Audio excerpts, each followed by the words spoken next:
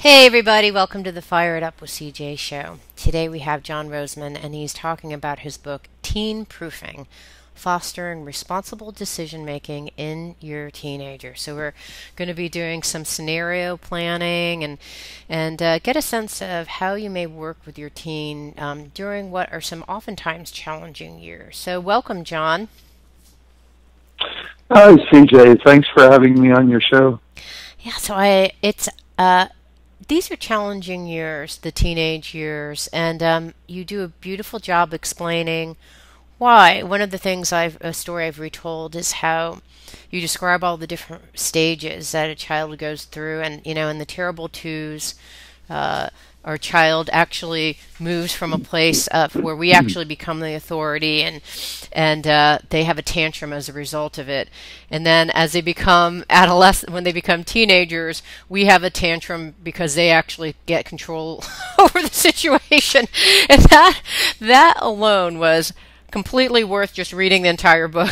Just that thought alone was huge. oh well, i'm glad yes. And, and i think that that's one of the hardest things to do is as parents nowadays we tend to micromanage and there's so many different parenting techniques out there that they tend to be confusing. What have you found when you've talked to parents out there? Well i find that parents are very very confused. And the confusion began cj when American parents started listening to people like me tell us how to raise kids. uh, prior to the 1960s, during which, uh, in addition to a, a, lot of other sociological things that were happening, um, we began uh, listening to professionals tell us how to raise kids. I call it the psychological parenting revolution of the 1960s. Mm-hmm. And um, the watershed year was 1965 when a book by a Manhattan psychologist named Haim Ginott, the book title was Between Parent and Child, was published. And this became a huge bestseller, and publishers began, as a consequence of that, beating the bushes looking for other people in the mental health professions primarily who could write books that would capitalize on the success of Ginott. And uh, today on Amazon.com, over 100,000 parenting books are listed. I, and I'm oh fairly certain, by the way, that that is the largest nonfiction category is parenting. Wow. And uh, there's no way that this um, can be anything but completely confusing to parents. but prior prior to the 1960s, you know, if you had a problem with it, and, and I am a psychologist. I mean, I'm licensed by the North Carolina Psychology Board. Um, we can talk about that if you want to. Uh, my my the fact that I don't believe in psychology. Yeah, that's uh, what I, I didn't want to talk. I, that was my next. Yeah, well, question. we can do that. Yeah, we well, can do that because you know I, I'll be as radical as possible and you share sharing. but uh, we, prior to the 1960s, you had a problem with a child. You, you didn't go to some expert. Well, you did, but the expert in question didn't have capital letters after her name. I call her grandma. You went you went to your mother. You went to your grandmother, and you sat down at her kitchen table, and she didn't charge you anything. She wasn't watching the clock. It was a wonderful situation. Yeah, the, and sadly, the whole family unit has eroded. So even those conversations with grandma don't happen anymore, right? I mean, their grandma's in a house; it's hard to get to. Um, but I want to go. Yeah, back. well, how many grandmas are there? You know, there's step grandma, and then there's step step grandma. So yeah. Yeah. All right, so I have a question. I'm one of those confused parents, and I like reading books because often they help just help me come up with tools and ways of thinking about problems. And you know, I think that there's a role for psychology and counselors in some instances when they probably help, and some ways in which they hurt. So I wanted to start off on the positive note. In what instances do you think they actually help, and when when do you enroll a psychologist or a, a counselor, and when do they actually help? What situations? Okay, well, let me make a distinction between counseling, which does not necessarily have to be based on psychological paradigms, and psychotherapy or psychological counseling, which is based on psychological paradigms. Mm-hmm. Um, the listener can take my word for it that no form of psychological therapy has ever demonstrated reliable efficacy. In other words, uh, and, and, more specifically, the research uh, shows over and over and over again that people who go to see uh, licensed therapists, one third of them get better, one third get worse, and one third stay about the same, which means on average, uh, there is no positive result. Hmm. And that is because the psychological counseling in question is is built on theoretical paradigms that have never been proven. The American public doesn't know this. I mean, for example, take self-esteem, CJ. Mm-hmm. The American public thinks, well, you know, psychologists talk about self-esteem. It must be a valid concept. But in fact, all of the research, and I mean all of it, that's been done in the last 20 years or so, um, has demonstrated that self esteem is highly associated with antisocial, sociopathic characteristics. In addition to that, people with high self esteem are highly prone to become depressed. Um, if they're not nice people, they're really uh, they're they're sad people. And you know, I tell uh, the the research also says this is a woman to woman show. I uh, want to point out to our audience, uh, largely female, I'm assuming, that women, the research indicates, are in danger if they are in relationship with males who have high self-esteem.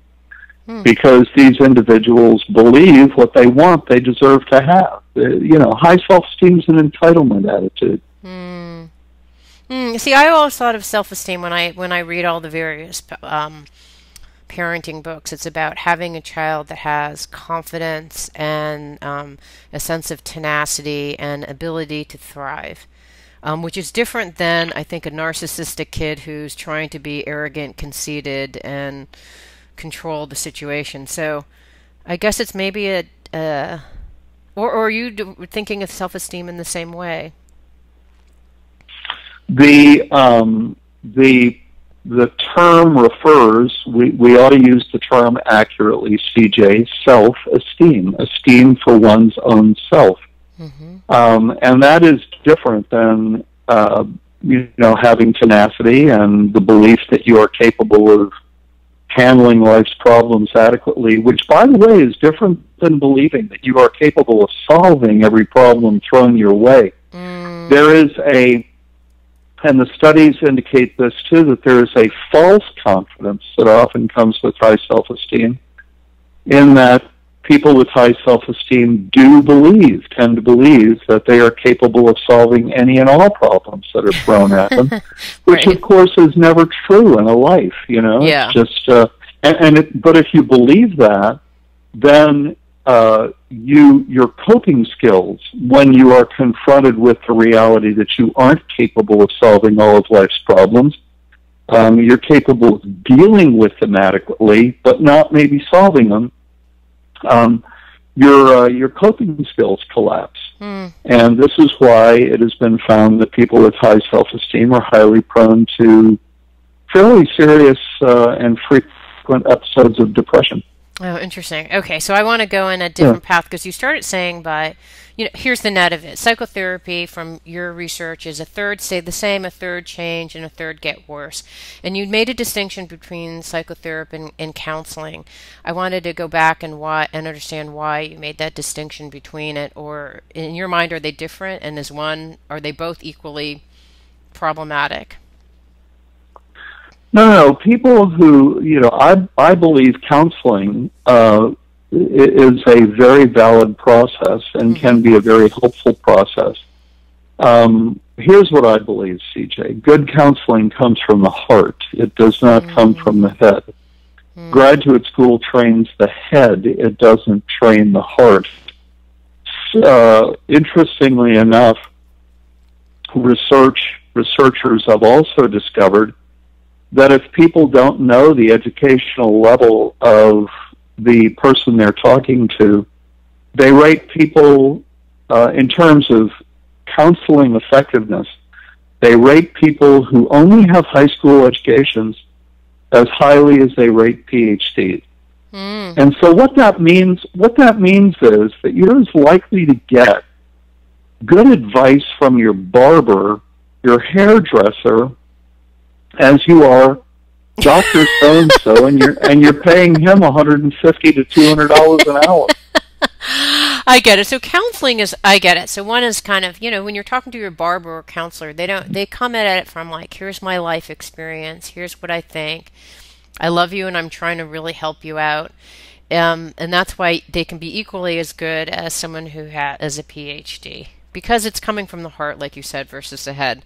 I get, and, and I and I get the and the whole grandma thing totally cements the whole idea versus a theoretical process where you're trying to jam someone into a category. They actually according to the American Psychiatric have ADHD or you know like all those kind of things when then you start trying to fit someone into a paradigm and try to solve the problem versus really understanding the kid I, is that what you mean? Right. So, I, for example, when I uh, when I see people, the first thing I do is tell them uh, I don't do diagnosis. Mm. Um, I I don't recommend medication. Mm. I don't do testing uh, because I fail to see through the research that any of those um, really advance a person's likelihood of resolving whatever problem they're bringing to me and getting better. Mm. So we just talk. Yeah. Okay, I, I want to go to a story that I found, a, a, fact in your book that I found fascinating. All right, you talk to, uh, in the book, you talk about Jay, initial J, who was a straight A student and who by 18 had been in jail on two occasions one for stealing a road sign, the second for creating a public affray. Um, this person, Jay, smoked marijuana on a regular basis and possibly fell down drunk. And at the end of the junior year, Jay, who previously was at junior year in college, Jay, who was previously an A student, almost flunked out of school. Um, so please reveal who Jay is. well, that would be me, John. I was shocked. You you sort of suspected that, didn't you, CJ? No, I didn't. I was like, and I had to reread it. I'm like, what? I literally read back and said, wait, did he say it was him who did all these things? Okay, I was kind of shocked. I was. Yeah, I, uh, you know, I went to college. I joined a rock and roll band. The band I joined, uh, we used to open for REO Speedwagon. Wow. Uh, the 1960s, if you were in rock and roll, that was a very dangerous time to be playing rock and roll music, I will tell you. and, uh, you know, I just got uh, completely and totally caught up in that lifestyle. Mm. Um, I, don't, I don't have any great regrets, uh, but what, you know, I told the story because, uh, you know, I wanted to illustrate the fact that kids, uh, and I was, you know, I just fell flat on my face from the time I was 18 uh, until I met and married my wife two and a half years later. Mm. And, um, you know, so for two and a half years, I was just, you know, flat on my face, you know, playing rock and roll, doing all kinds of bad things. And, uh, I mean, uh, you know, nothing that would hurt other people, but just very self destructive, irresponsible stuff. The reason I told the story is, you know, to say, look, you know, a kid can go through a phase like this and still turn out okay. These things should be alarming and certainly should not be ignored, but they are not necessarily apocalyptic. Mm. And that's a huge thing to remember. I Okay, so now I want one of the things I love, love, love about your book, Teen Proofing, is you give lots of lots of sample dialogue on and I think as parents, sometimes you just need to hear what another parent is saying and, you know, and modify from there. So I actually have a, a modern day version of you. Not exactly, but I'll tell you the story and I was hoping that you could um, give some insight on, you know, how you approach how to make someone a responsible decision maker when they're teens. So I have a friend who uh, is a single mom, and she divorced her husband because he was an alcoholic, and um, an alcoholic who has not since been able to get his act together and find a job. Okay, so no surprise, her son got involved with alcohol and pot, and was getting stoned all the time in high school um, barely, barely graduated from the uh, a very nice private uh, uh, private school that they went to. Is now enrolled in college, and the and has made a series of bad decisions. Recently, this child um, was given a stash of money for graduation, which was intended to spend on book supplies, PCs, etc. And instead, this child spent all the money on pot and partying all summer long. And this child is planning on living at home. So it's got like the trilogy of like, you know, it's got you know, allowances. It's someone who's smoking pot. This child is now living at home, which we're now finding as a very common occurrence. And so I know that this is a very uh, complex problem, but these are the problems that a lot of parents or some parents are facing. So if you were talking to this single mom what what would what advice? And of, of course, the mom is just despondent, and this is someone who's an enrolled, you know, involved parent, cares very deeply, loves her child, but you know has a hard time because you know this the son points to the dad and says, "So what? Dad's doing this. Why do you? I have to find a job and get my act together. My dad's not doing it, and the dad's completely not involved. So that's kind of the whole picture." So. Yeah, well, the mom. Uh, th- this is a very typical sort of scenario. I mean, the the the uh, the specifics may change from situation to situation, CJ, but I'm very very familiar with this type of scenario with this age kid. And um, what I would speculate, uh, based on a lot of experience, um, is that this mother is very conflicted concerning how to deal with this mm-hmm. young person, her mm-hmm. son. And the reason I suspect that she's conflicted is that, let's face it, she should have known better than to give a kid who has a history of drug use, alcohol use, and abuse in both cases, and uh, irresponsible partying uh, a large stash of money. Mm-hmm. She should have supervised that money. She should have kept it. She should have made sure that it was spent on what it was intended to be spent on. Mm-hmm. And the fact that she didn't use good common sense, and if, if someone said this to her, you know, what were you thinking? Giving your son, who's got this history, this amount of money, what were you thinking? She would probably immediately realize how um, that this was a very bad decision on her part, but it indicates the degree of conflict that she herself is going through. Mm-hmm. She, uh, you know, she enables him at times, and then she wonders why he persists in doing what he's doing. And as long as she is conflicted, he has no reason to change his behavior. Mm-hmm. You know, hmm. this this is a kid who needs to be completely cut off. And I'm not saying kicked out of the house necessarily, although that would certainly be an option. But uh, cut off from uh, any and all source of, of money uh, from this mother until he straightens out his act. Yeah, so I can see how the mom would be conflicted. I don't know the exact ins and outs, because it's not a very close. It's a you know a friend of a friend. But in this particular case, like the mom, I assume is like, you know, she doesn't want to put her kid out on the street. That's a conflict, right? You see your kid, they're suffering. Yeah. You don't want to put them out on the street. But how would you break down the problem? So first there's the drug use, like drug use and not barely being able to get together, getting your school together, and then you're sending this kid off to college. And one of the things that I really liked about your book, Teen Proofing, is that you set out a game plan that says here's the, here are the things that we respect we expect and here are the things that we want you to be responsible for and here are the consequences if you don't.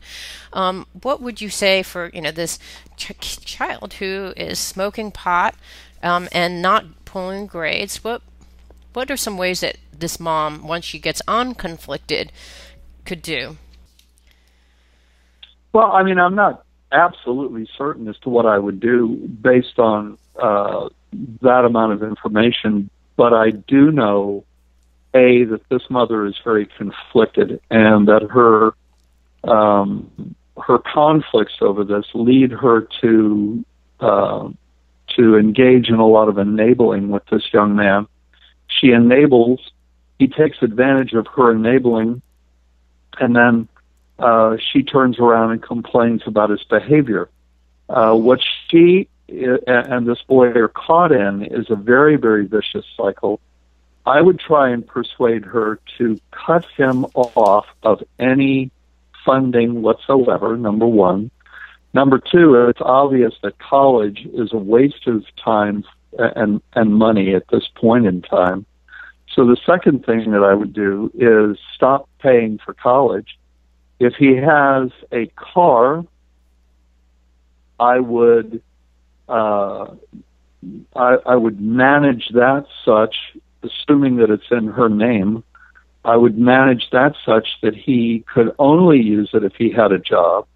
Mm. And, um, uh, but beyond that, I mean, without knowing a lot more specifics, I, I'd be uh, hard pressed to say what I'd do beyond that point or recommend beyond that point. Yeah, and I think that it's it's a hard situation, and let's actually take something that's very concrete, and that you actually do talk about some examples. Maybe you can talk about the examples in your book, but you talk about examples that are very common nowadays, where you actually have a kid living at home because you don't want to be homeless. I mean, regardless of of you know the situation, the kid smoking pot, um, you know, and it's it's not.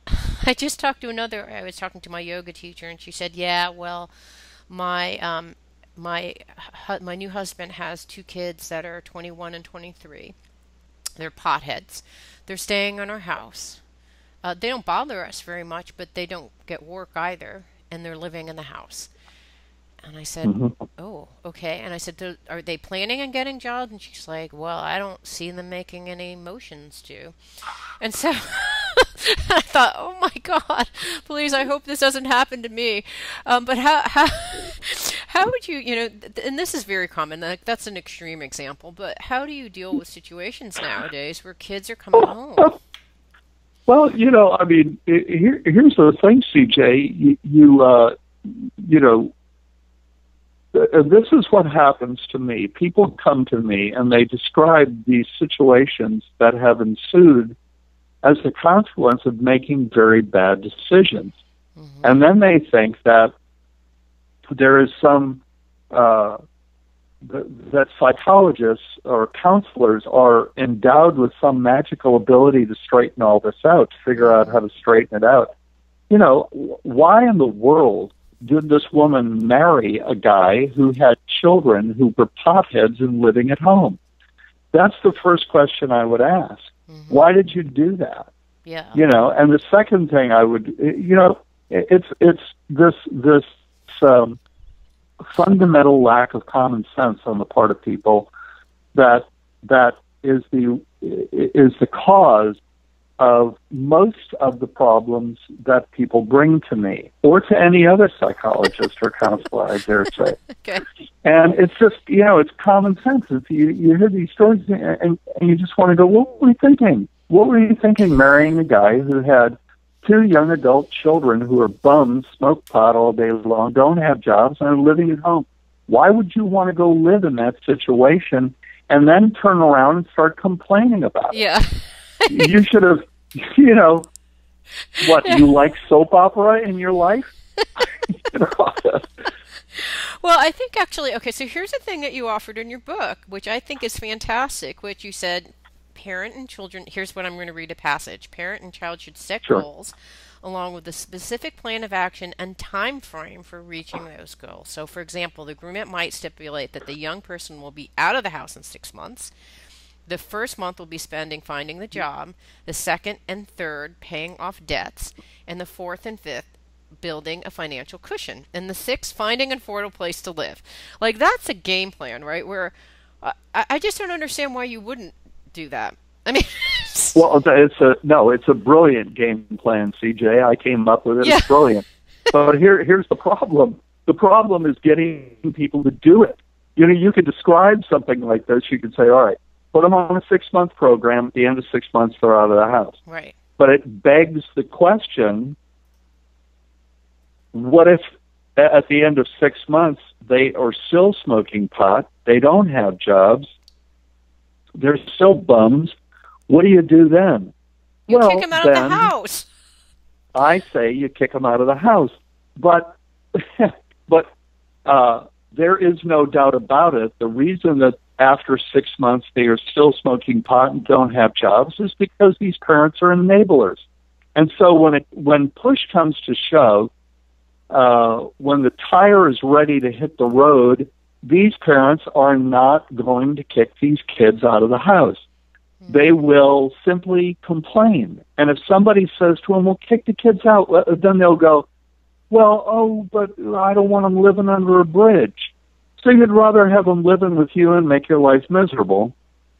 You know, with what we've got here is the people who are miserable are not the people with the problem. How about this? The people who are miserable are the pe- people who have the problem. Mm-hmm. Right. Absolutely. Because how are you, again, yeah. fostering responsible responsible decision making?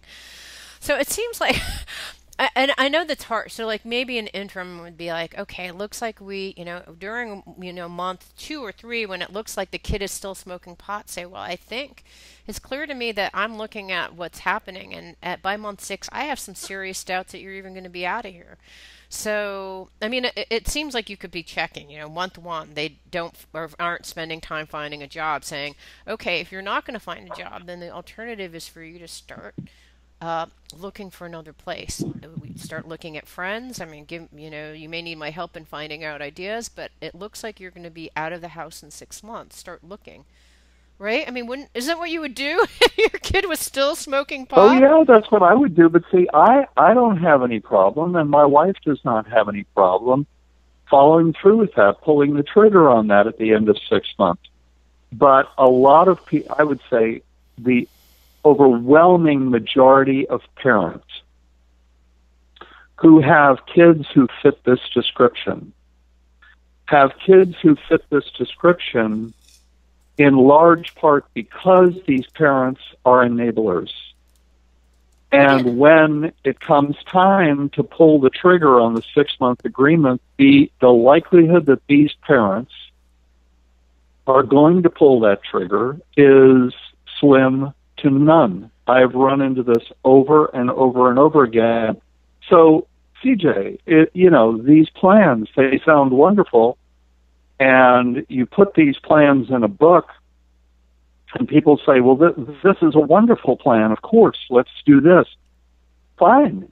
And, and, and I, there are people out there who will do it and who are willing to pull the trigger at the end of six months but what I'm saying to you is the overwhelming majority of people are not willing to do it.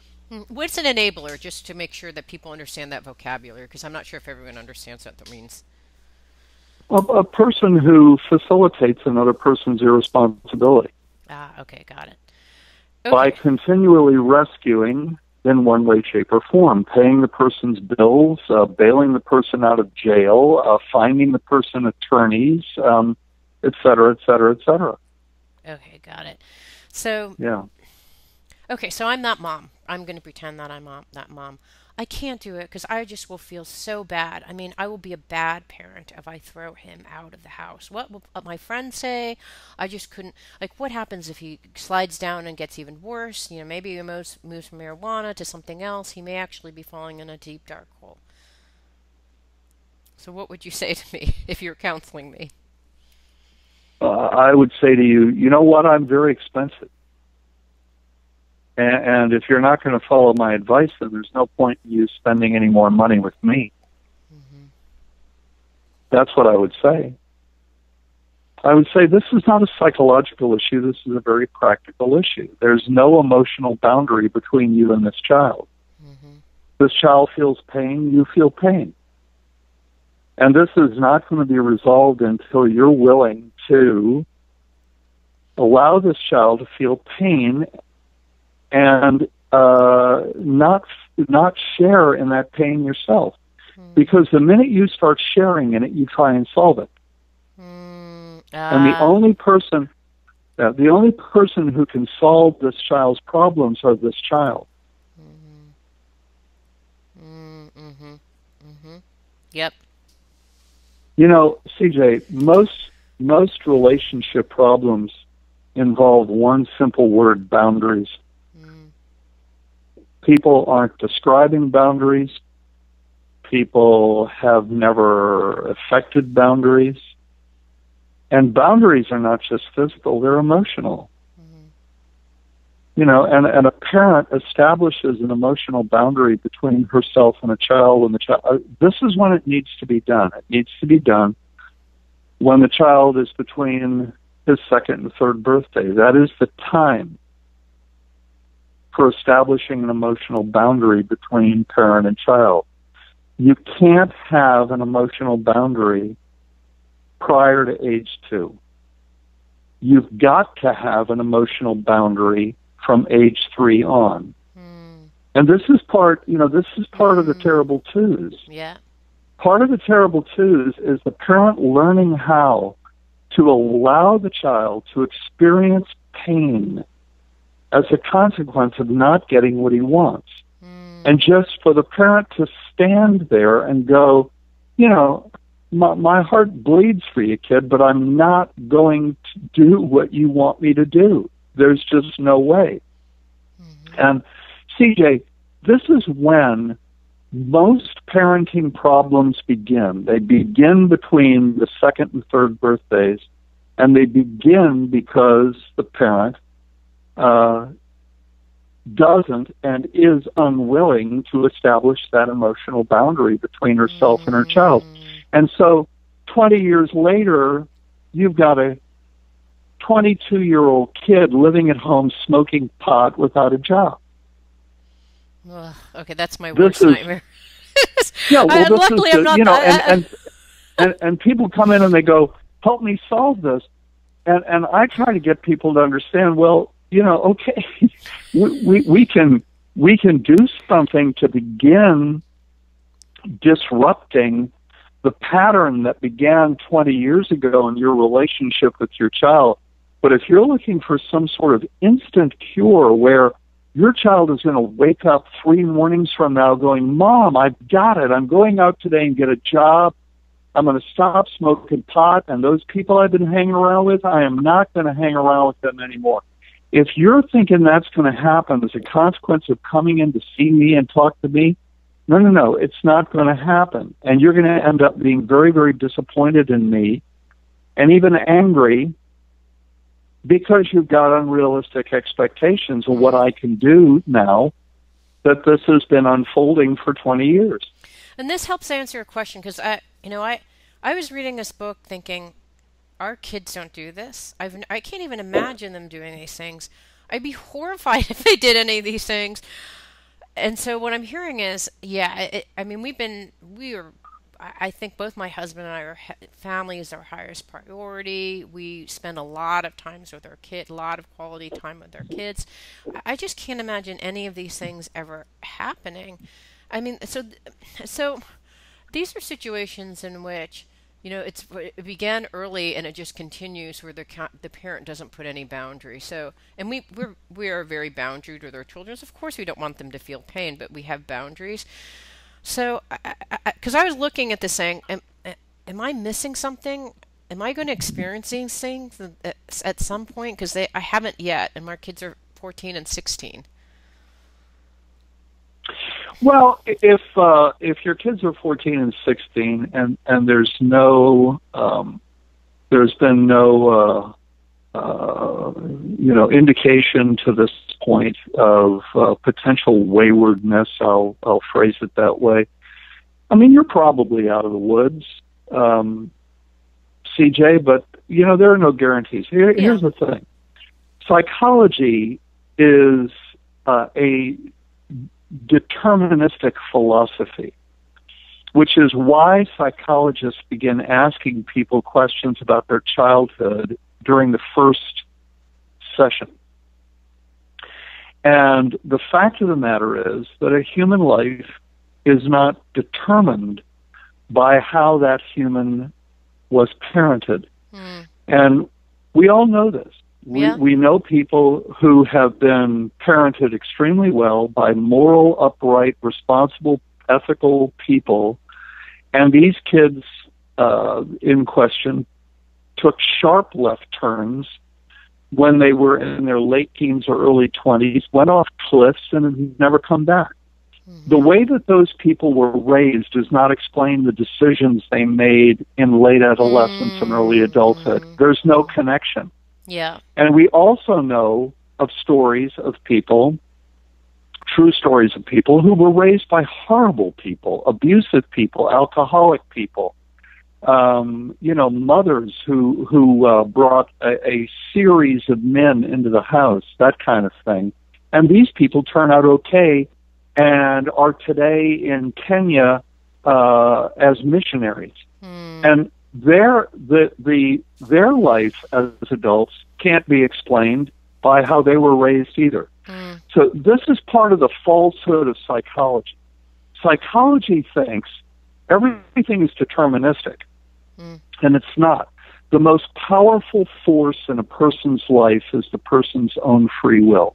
Mm. Mm-hmm. But it sounds like you're out of the woods, CJ. There's, you know, you know, when you're talking possibilities, probabilities, anything is possible. But the probability that your kids, 14 and 16, who've been uh, walking the straight and narrow more or less for 14 and 16 years, are suddenly going to go nuts. Um, is is uh, fairly slim. Yeah, you know, I think when and and you mentioned this in the book, the first part of your book emphasis emphasizes this because I think as parents we guilt trip ourselves like what did i do wrong? What should i do differently? I mean there's some cases like the situation where the person is conflicted. That may be something you can do differently but even in that case the person was conflicted. You know they did something wrong they can they can fix it. But i think one of the things that i'm hearing you say is you know, a child comes hard coded with a temperament. And that you can't really control. There's some kids that are going to be more risk oriented. Who knows? What what happened in the genetic? Who knows? That kid's just going to be more risk oriented. And th- sometimes, if you go a, on the spiritual path, you could just say, you know, if I go into my spiritual path, I could say, well, you know, a person, each person has their own destiny you call it um, you know i can't remember you call it something else but each person can manifest what their you know they are at choice and at free will to manifest what they want and it's their destiny not yours. So they're going to do whatever right, they, have, came on earth to do. Yeah, my wife and i we uh we had two children boy and a girl. My wife and i have been married 47 years. Our kids are in their 40s our son was a high risk taker uh very impulsive um, praise God, he decided at the age of 16 he wanted to be a pilot. And so he channeled all of his risk taking into flying these machines through the air. Mm. And uh, today he is an international corporate pilot. You know, and, and yeah, it, but it, you you could have taken that same scenario, this high risk, impulsive, headstrong kid, and um, if his uncle, who was a pilot, hadn't taken him flying when he was 16 years old, uh, and this kid had an epiphany during that uh, first flight in the cockpit with his uncle, um, who knows what would have happened? Yeah. Ugh, I just think it's fascinating right? I mean, and I, but but here's yeah, the thing: it is fascinating. Did, the, the, kid had their own path, temperament path and but the thing that you did is you channeled it into a productive like I get it. I accept you. I love you. This is who you are and let's take that and go to a productive path. right? I mean, went to a spy. Yeah, I don't know. I think well, that's what I'm more hearing. or less. But I, you know, then the other part of that is I wanted my wife and I wanted our son to um, take a lot of responsibility for his own flight training. So we told him, we'll either pay for your flight training or we'll pay for college. What's it going to be? Because flight training is, you know, to get to the point where you are multi-instrument rated, uh, multi-engine rated, instrument rated, jet rated, et cetera, et cetera. It is expensive. It is a college education. Mm-hmm. And I said, I'll pay for your flight training. I'll pay for college. What's it going to be? He had me pay for college, and he paid for his own flight training by um, by instructing uh, flying jumpers, um, Mm. flying law enforcement, uh, looking for marijuana plants, uh, you know, all, all kinds of. He Wait, took, he was took resourceful. any. Yeah, he was. You know, at the age of 20, he's flying the sheriff around the county looking for pot plants from the air. And not a chip off the old block, okay? And, uh, but, uh, Oh, I you know, love it- that story. you know, it- uh, and and a lot of this, I think, is just, you know, I'm a very, I'm a very, uh, uh, not religious, but I'm a very spiritual guy, and I just feel like God's hand was in this to some degree. Well, he certainly helped you write your books, right? I mean, I look at your your. The, the narrative that you have in the book about the conversations you have with your son Eric and and I think your daughter Wendy, and and it's if they weren't that way, and especially Eric, because it sounds like he's the one that was more challenging, you wouldn't have had the, the good fodder to write the book, right? he, uh, there was a, a reporter from the New York Times, uh, CJ, who came to our house in North Carolina. Oh, this was about uh, 20, 20 years ago. And the reporter is sitting on the back porch, and at that time, our son and daughter-in-law were living down the street from us. And the reporter said uh, that she would like to talk to Eric. So I called Eric up, and he comes over and he walks onto the back porch. And he walks up to the reporter, extends his hand, and says, "Hi, I'm Eric. My father's career." Oh, I love it. Okay, on that note, Yeah. we, we've been talking to John Rosemond, talking about his book, Teen Proofing Fostering Responsible Decision Making in Your Teenager. Thank you so much for being here. What a fabulous book. Highly recommend it. Lots and lots of good examples in here. Thank you so much for listening, audience. Thank you, Rebel. Have a great weekend, everyone. It means so much to me that you're listening to the show and love your support in any way by giving me comments below or to subscribe to the show or share the show with friends. Thank you again for your support. Love and blessings.